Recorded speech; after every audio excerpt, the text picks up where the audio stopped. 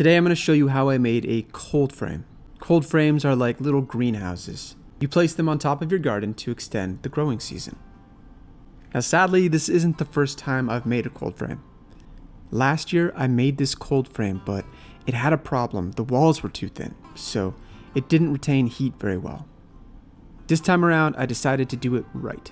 I used thicker lumber and followed Nikki Jabour's guide in The Year-Round Vegetable Gardener.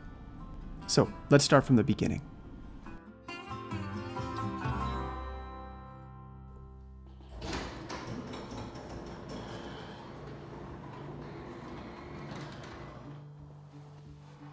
First, I got some lumber. I got two 2x10s and three 2x6s. Then I cut these boards in half. This gave me six pieces from the 2x6, but I only needed five, so I got rid of one. Now in order to maximize sunlight, cold frames need to be on an angle, so the back needs to be higher than the front. So these three pieces will be our back, and these two pieces will be our front. So let's start with the back. First, I measured the space I would need for the sides to connect later. Then I nailed a piece of scrap wood to connect the pieces.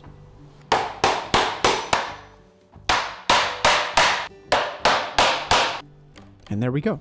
The back was connected. Then I did the same thing to these two boards to build the front. I marked off space for the sides, and then I nailed a piece of scrap wood to connect the boards together.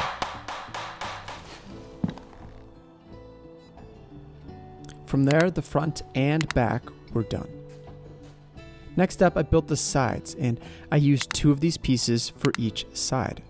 So I put two of those pieces into place. And I marked the high point at the back and the low point at the front.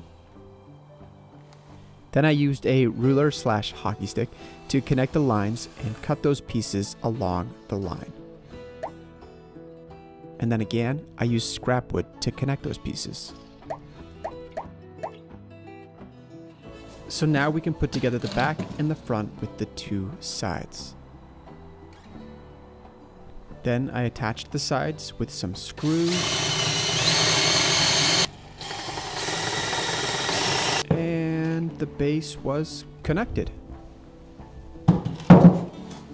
So next up was the lid that I was going to place on top of the base. I made the lid with some scrap wood I had lying around. I just cut four pieces to fit for the lid.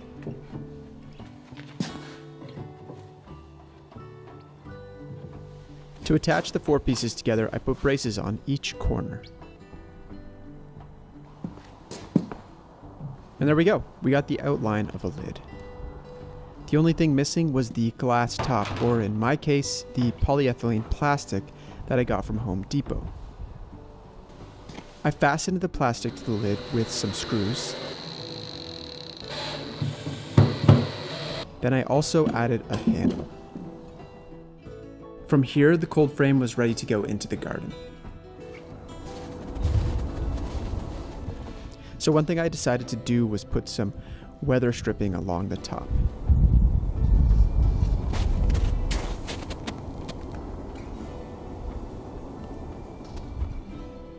So then it was time to attach the lid.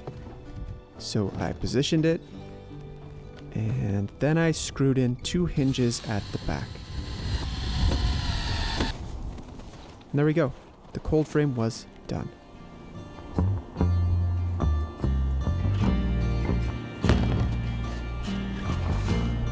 So how well did the cold frame work? Well, I came back a few days later and noticed it was 8 degrees warmer than the outside minus 12 outside. Cold frame, minus 4. The main thing to understand is that a cold frame works like one of those styrofoam coolers. It just stays colder longer or warmer longer. So if you come out in the morning, it may not be dramatically warmer than the outside. But as the day goes on, the cold frame will warm up. Hope that video was helpful or informative. Uh, I'm definitely going to make more on this channel, so you can subscribe if you'd like. Um, but either way, thanks for watching.